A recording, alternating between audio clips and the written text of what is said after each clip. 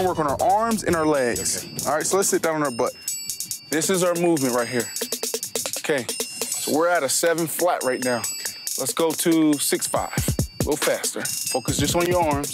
Let's go to a six flat. This is right where you're at right now. We have to break through this wall. Let's go to five nine. That's what you want. That's your goal. But I see better. Let's go to five eight. Fast, fast, Rich. Fast. Think fast. You see that? His butt is coming off the ground. That's fast. And that's efficient right there. That's Brandon Marshall of the New York Jets, who was kind enough to work me out on Monday at Pepperdine University. And uh, for the radio audience, we're going to post the videos of that and run them tomorrow on Thursday's edition of The Rich Eisen Show. Joining me here is another man who has been whispering advice to me for years. And, uh, and I'm thrilled to have him right here on The Rich Eisen Show. Multi platinum recording artist back here again, Snoop Dogg. Good to see you, Snoop. Hey, Richie Rich, it's my pleasure, baby. How are you? I'm all hood. I can't complain. Now, look, you said to me last year, you, uh, this, is, I'm in, uh, this was great last year. I'll explain it. so I'm, I'm doing the combine with Mayock. I'm on the air, look down at my phone, and it's a text from Willie McGinest saying Snoop wants to talk to you. He's in town. I'm like, okay.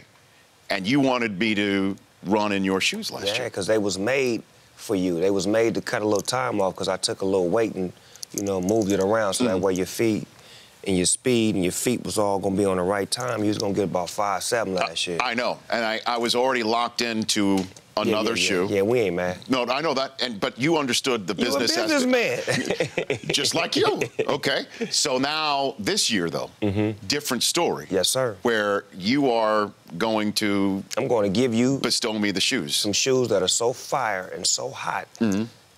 I predict you to run a 5.6 in these. Five six Five six. in these shoes. Yeah, with the training you just got from Brandon, Brandon gave you the key. The key was Mm-hmm. here, here, here, and then let your mind be free. Because what I noticed about your running, Yes. you so stuck on form. You you, you trying to be form. Let the form go, Rich, and just run. Well, the problem I've always had, Snoop, now that we're just going to get into it here, is getting off the line. Mm-hmm. I have no idea what I was doing with my hands and feet there. Brandon Marshall gave me some great tips. The way you, down. the way to hold your hands is key as well. Right. He told me how to hold my hands, where to put my feet, head down, Mm-hmm. and we were running the tens. Yeah, Because my That's the most important. last year was the first time my ten was electronically timed, Snoop, and it uh, it was so bad that I couldn't even tell my own children the time. Okay. Mm. But I will, I'll, I'll, I'll share it. here. It was over two six. That's too long. Well, here's the thing that I thought though is like if it was over two six and I ran a six one, that means I'm running the last thirty in three and a half seconds. yeah, you speedy, so you got to get that takeoff right. Which Brandon helped me on. I got Love it it. under two seconds before. Love it. I love it. But I I, love it. but I wasn't running in the suit. though, and you Snoop. have to have a bow tie on. Now you keep telling me Because the other tie keep floating in the wind and it's slowing you down. The Yeah, bow tie but- gonna be just right there, just like absorbing all that speed. Just wah, wah, wah. Well, what? what but yeah, I know you keep telling me, and you also tell me to button up the jacket. you have to. But that's too restrictive. I can't do that either. It's flavor too, Rich. You got to run with style, man. It's just it's like you're not running with style. You too into the form. Let the form go and get style about it. The style gonna bring the time well. Brandon was telling me chin to pocket with my hands. yes. Chin to pocket. Yes. But yes. the problem was, is I was I was doing forehead to pocket. Is what he was He was way up here. break it down. Break it down. Break it down. There you go. Okay, so you have the shoes. We we want to Yeah, get I that one the out of the way. shoes for Okay, you, well, there we go. What do we have here? They hot like fire too. Look here. Let me get them out there for you. Look got- what they look like. Oh my gosh! Now feel, the, feel how much shoes. they weigh though. Oh, yeah. This hardly weighs anything, It weighs about the same as this. which is the insole. Exactly. Okay. So these are the shoes you I will be wearing. Mm-hmm. These are the Adidas shoes Fire. that have fire from head to toe. And this is what the guys are going to be wearing Yeah. this year. Yes, sir. So these are what the kids who, are, who wear the Adidas shoes at the combine are going to be They're wearing. gonna be this year. rocking the same thing. And this is you what I have. Exactly. Okay. Teammates. No pressure. None. What do you think?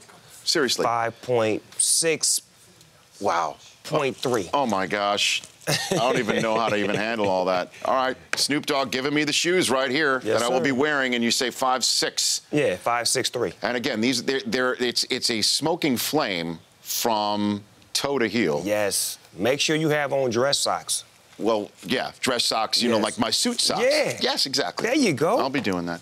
Snoop Dogg here on The Rich Eisen Show. All right, I'll leave these on the desk for the moment. You are also dressed head to toe in Steeler gear. Yes, sir. What'd you think of the Super Bowl? Because last time we saw you was the Friday before it, the day after you blew it up for this show at Yeah. the media availability. Uh, what do you think of the Super Bowl this year? Defense wins championships. That's always been, you know, the code from day one as far as football is concerned, and it was proven in the Super Bowl. Great offense, but the defense from the Broncos was just immaculate. The front four, the DBs, the linebacker, everybody was on point, and they made it easy on Peyton. That's why they won it. Because Von Miller was A beast. unbelievable. I believe he had a lot of built-up frustration from not playing in that Seattle Super Bowl because he didn't play in that game, mm-hmm. and I felt like that was a lot of built-up anxiety. And he was in control. He wasn't out there wild. He was in control. He played like a, a kid on a on a little league football team, just having fun. And he did it against Brady the week, the two weeks before too. so he figured that if he could mm-hmm. stop the top, Right. you know, it will be easy to get Cam. Right. Which we didn't think because we know how athletic Cam was, but at the same time, do you know how athletic Von Miller is? He's unbelievable. Boy. Now, interesting. Hey, Brockman, you, why don't you read for Snoop the uh, comparison to Von Miller that we heard today at one of the weigh-ins at, at the combine? Derrick. Henry uh, measured today at 6'2 and a half, 247 pounds. Heisman Trophy winner. In Derrick Henry. 2011, Von Miller was 6'3, 246 pounds. Think about that. Derrick Henry is Von Miller's size coming downhill right now. Everybody that sees Von Miller for the first time thinks he's a running back or an offensive player. Mm-hmm. He's not built like a defensive player. He's it's unbelievable. And Derrick Henry too is is a, a monster right there. big monster dude. Yeah. If he's sitting there late first round, you want your Steelers on him, or what do you think?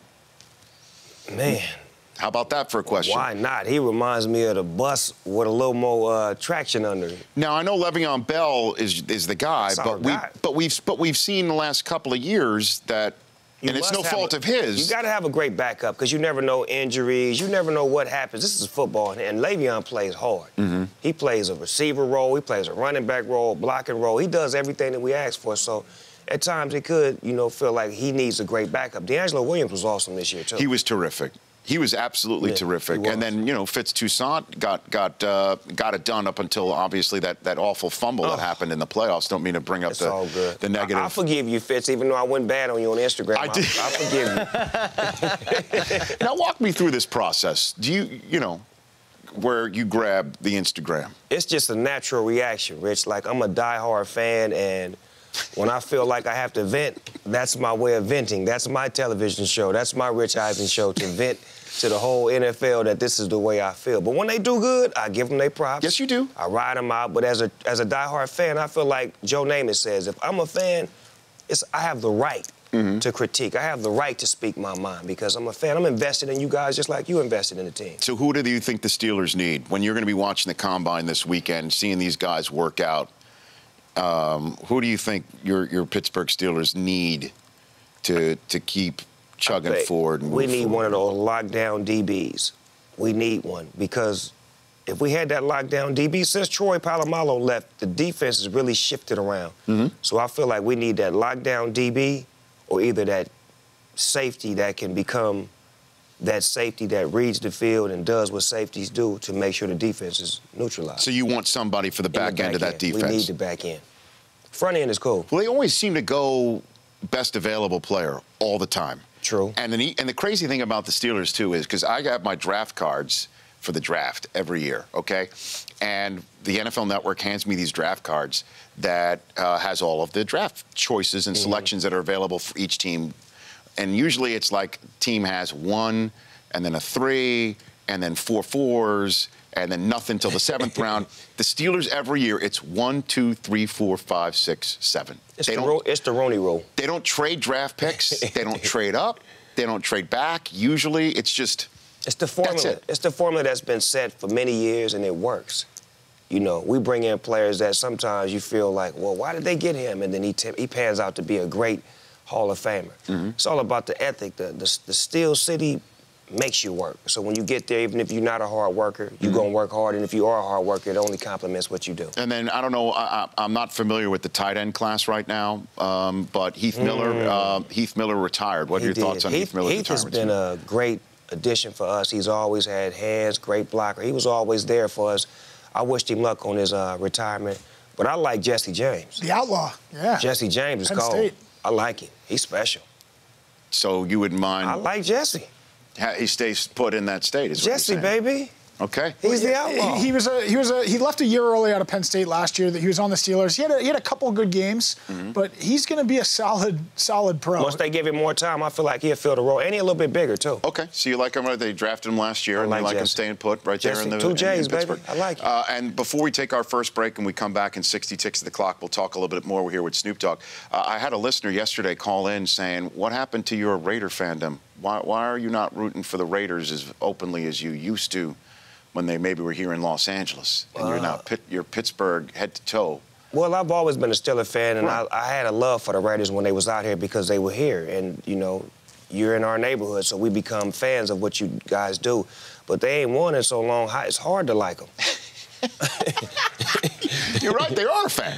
Yeah. You are a fan of them. So, so does that mean you're going to be interested in the Rams now a little bit I'm going to support any football team that comes to Los Angeles because I'm a Los Angeles native, and I'm definitely going to support the Rams But if it's until they play the Steelers. That's and then that's it. And it's over Then you tap out. Point blank. Okay. Uh, Snoop Dogg is here on the Rich Eisen show. He has handed me these new beautiful Adidas shoes that are filled with fire, yes, hot. figuratively and literally. You see the smoke coming off of them? They hot. They are hot. We're back with more with Snoop in 60 ticks. Drop it like it's hot.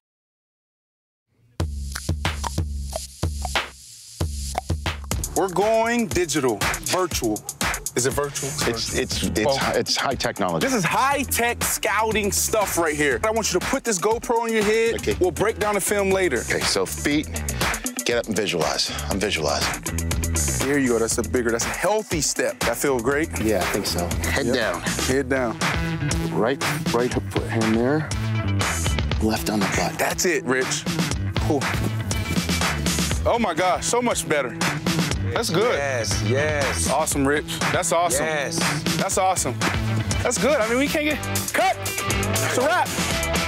Uh, that's job, Brandon Brandon. Marshall. Great job, Brandon. And I wasn't, and now I wasn't even in the fire 40s. Oh, you, you see the shoes I Yeah, was you wearing? had the Snoop Dogs from last year. From You last year. Rocking and rolling, baby. Well, the that, like, you had like a like a jaguar on it. yeah, or it was something like, a, it, it was Leopard? Uh, uh, unleashed the, the the the beast. So it was like we had lions and bears and all those kind Mm-hmm. Snoop of wild Lion, I animals. like it, yeah. yeah. yeah, those wild animals. All right, Snoop Dogg here on, on the Rich Eisen show. What'd you think of uh, the Cam post game Super Bowl press conference and then the conversation that the national media had after? I'm a sore loser too, so I'm just gonna tell it like it is. What I think it was, remember, it was a voice that you could hear in the back. That was Chris Harris.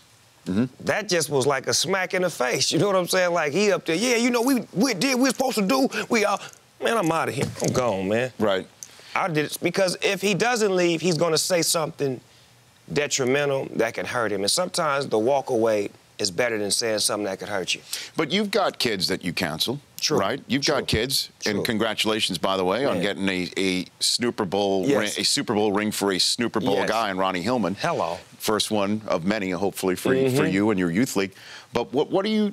You know, is there is there a lesson to tell your kids in this in the, any way, the shape, lesson or form? is here? to always be kind and be a sportsman at all times. Mm-hmm. I li- what I did like is that he went to Peyton Mm-hmm. at the end of the game with all smiles, congratulating Peyton, letting Peyton know, hey man, great game, congratulations. Okay. To me, that was the most important piece right there. Because I've seen guys lose and don't shake hands with their opponents. Now that's unexcusable. Media, uh, well, sometimes the media get on your nerves. And to me, it's not excusable, but at the same time, I kind of sympathize with him because I'm a sore loser. But I would tell my kids in that position, hey, suck it up, do your interviews like Marshawn Lynch. Do what they ask. I'm only here to do these interviews and mm-hmm. roll out. Mm-hmm. and just so, do you think there, this was a learnable moment for Cam at all, or not really? Definitely. You do. He, he learned a lot from this. Cam is smart. And he'll be back. This is not his Well, last there's no time. d- look. There's no doubt about that. What was his What was his measurables at the combine, Brockman? You had you said that in the first segment of the show. Cam Newton was 6'5", 248. think about this. He'll be back. And, and that doesn't even give a description of who he is until you stand next to him. Like, that's not telling what it is. You have to stand next to this man and see how big he is and how smooth and how sharp he is at his position. Snoop Dogg here on the Rich Eisen Show. Uh, Washington, uh, the uh, team president of, of the of the Skins, um, came out and said um, that Bruce Allen came out basically said finally what we all assumed that RG3 is going to hit the street. Um, what what what do you think of RG3's future in this league, Snoop? I think once he finds the right team that can put him in a system that fits his abilities, he's going to be just fine. Redskins couldn't handle him. They didn't know what to do with him. He fit more of a Chip Kelly style of offense. And I feel like if he finds the right team or the right team finds him, he'll be just fine. Which team do you think? Just ponder that, noodle that for a second. I mean, do, first of all, if you are in charge of a team, Snoop, mm-hmm. would you would you bring him on and start him? Like just put him out there and be the starter? I would make him team. work. I would make him work because I feel like he's that kind of kid that wants to work and he doesn't want to be given anything. And if you give him the position to work at, if he gets great and gets to the point to where he can be great again, right. I think he's going to shine. So the Cowboys wouldn't start him, but they might have a spot for him backing up Romo. You think so? Mm-hmm. Oh, yes, I do. You think so? I do. Oh, because he is from Texas. He's there. Baylor. He's from Baylor. Yeah. He's, and, and, and he's mobile. I mean, did, didn't his parents wear an RG3 Dallas Cowboys sure did. jersey when he was there? When the Redskins played the Cowboys. Oh, they did? They did. Mm. They're putting and, and it out you know, there. Jerry, Jerry's a monster behind that kind of move well, right there, look, too. I mean, Romo, Romo is, in my mind, I still believe he is a healthy, Super Bowl potential quarterback. There's mm-hmm. no question about mm-hmm. it. I mm-hmm. also got a chance to spend time with him at the Super Bowl this year at an event uh, for Courtyard with him and um, and Steve Young. I emceed a, a, um, a chalk talk with them, mm-hmm. and his mental approach to the game and knowledge of the game and the playbook and the film study was off the charts. But you have to have I mean, a team to complement that. When they got rid of that running back, oh, worst move ever. Worst move ever. Leading the league in rushing with the outstanding line. You was one play away with the catch that wasn't a catch. Right. And then you get rid of DeMarco. I don't understand that part. I didn't either. But I guess, I don't know. You're right. Marshall Faulk said that on game day morning when everyone's like, what's the matter with the Dallas Cowboys this year? And he it's basically that. said, that was it. He said that was the moment you couldn't he even come back Tony from it. Tony better because Tony could give him the ball and you have to respect the run game. We don't even respect the run game in Dallas no more. No disrespect to the running backs there, but it's a difference when you got that man running downhill. Well, it also would have helped to have a, a backup quarterback who could win a football game. And that's why I'm saying that RG3 there. It makes if, sense. If, just if he could stay there and sit there and mm-hmm. be content mm-hmm. for till Romo is done there, whenever that might be. Uh-huh. I don't know. I'm just going in my head right now where else there might be a spot for RG3 to go ahead and start. Um, would Cleveland be a spot? Because I know we've been here, problems. we've been here, we've been here talking about how Cleveland. There's people go get Osweiler. Go get Osweiler and use your number two overall selection on a beast like Joey Bosa or any of these Man, beasts that we see here this let him go. That's what I said. So, mate, what about Cleveland? Hue Jackson going to get RG3? Uh, they in our division. He's going to have problems. What about the, what about the Rams? what about Les Snead pulling the, the Rams miracle of all? You want to get somebody because where he traded away yeah. the pick for him, now they get him for nothing. Oh wow! So it comes back to Fisher. Maybe. strategic. It, strategically, it sounds good. I know they liked him. And they liked him a lot. It just was just an absurd amount of, yeah, of, of first round choices. You can't turn that down. At that time. But may, hey, time prevails. He, he, may he may fit right now. Yeah. I wish him luck. The RG's a friend of mine, so wherever he finds himself playing, mm-hmm. I love you, RG. Get your mind back right and get your feet up under you. All right. So, what do you think about the Steelers' prospects? I know you think they're still Super Bowl ready, yeah. but we got the best offense in the league when everybody's healthy. So you're a Todd Haley guy. Sometimes. There's that old Todd, Instagram Todd, account. You know what it is, Todd. Come on now. There's that old Instagram account. yeah, me, me and Todd, we, we agree to disagree. Mm-hmm. He got it together at the end of the season, though. Hey, look, you cannot. This offense is it's, on tilt. It's on tilt. There's, I like Martavis. I like Antonio. I it's like.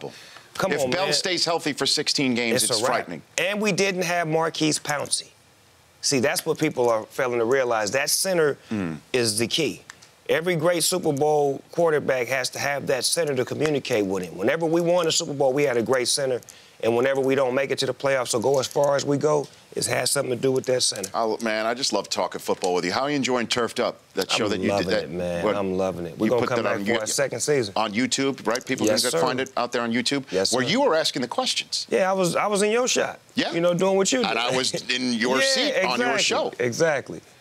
And It's a good thing. Yeah, it was fun. You had well, you had you had T.O., you had Willie McGinest. Yeah, uh, Gonzalez. I had some basketball players. You know, Martavis Bryant, Michael Rappaport. Yeah. I missed that one with you and Rappaport. Oh, Rapp is a fool. That must have been something. I love him. How'd you like the All Star game, the NBA All Star game in Toronto? I saw you up there. I thought it. I thought that Toronto did an excellent job of hosting the Mm-hmm. NBA All Star Week. They actually moved up in my book because it was so beautiful. Even though the weather was cold, but It the was. events were so nice. They were well put together. The people were were very hospitable. It was it was it was great. yeah. And what do you think? Do the uh, do the Warriors get the 72 wins? I think they get 75. By the way, that's my opinion. Do you think the Warriors? They got beat the Bulls? 17 games at home that they're going to win. Right. So whatever their record is now, plus 17. So that's 67 and five. If they play the Lakers anymore, give, give them some wins on that. Okay, because we went through all of this. They played the Spurs fi- twice fi- in five San games with the Spurs and Clippers total. Yeah. So that's a Two of them in San Antonio. Mm-hmm. They've got one in OKC left. We don't know where they're staying uh, uh, overnight. Well, they're there. I like them though, man. They, they, I like they, I like their mentality as far as how they play for each other and they play to have fun. That's Oh. what the sport is meant to do. It's meant to be played with each other and, and to have fun. and before we before we let you go, um, although do you have do you have time for one more segment? sir. All right, let's take a break, and when we come back, we're going to have Snoop. He's given me advice on my 40. He's going to give Chris Law advice on that 40 that's right there in front of him. Can he, can he guzzle it in 20 seconds? He wants, actually, it's 12. 12.2. Oh wow. Two, two of Rich's 40s. In the hood is 20 seconds. You do 12, you may be Guinness Book, baby. Call him now, Kevin. Call Guinness. One last segment with Snoop here on The Rich Eisen Show before Matt Stafford joins us. Oh, Al Davis just look at him. Jordan. Get it, hit it, get it, get it, get it, get it. Oh, look out. Oh,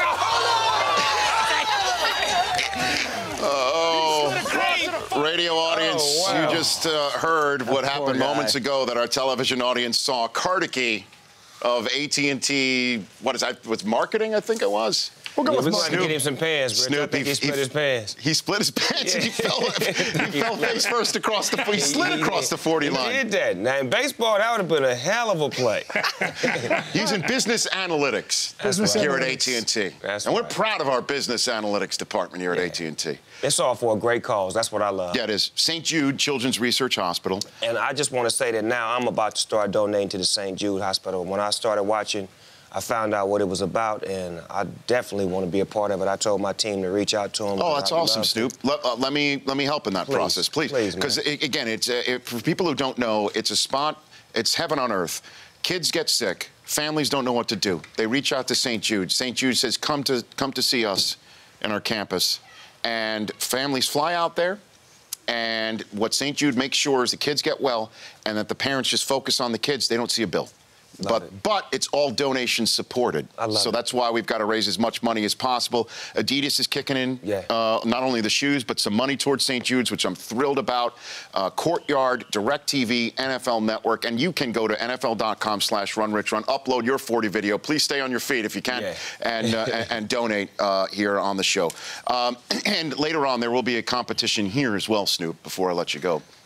Uh, Chris Law at the Chris Command Center, who you've known in your many appearances here on the show, says that he can uh, down a 40 ounce in the amount of time that my 40 yard dash that I ran last year in 6.1 seconds can be placed back to back. So in 12.2 seconds of time. Now, in the hood, Yes. the record that OG Cubone, he did it in 20 seconds.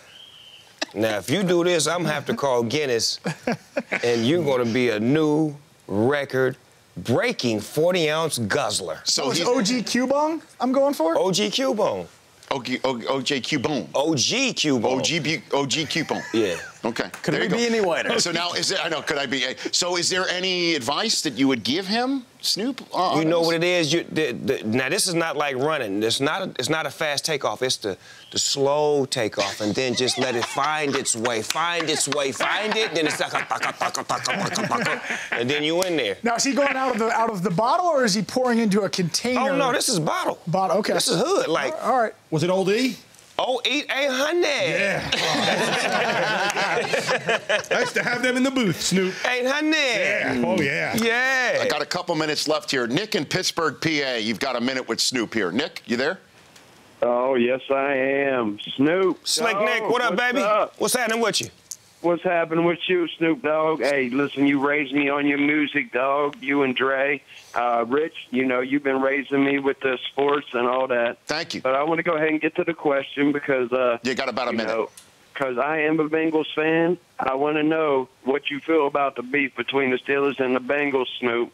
I love it. It's great football. You know, I like the way it stays in between the lines, and you know, it's, it's AFC North. We've been doing that for years, and um, I like it. I love it. It keeps us on edge. Well, you know, Burfict says that he got the flag because he wears 50.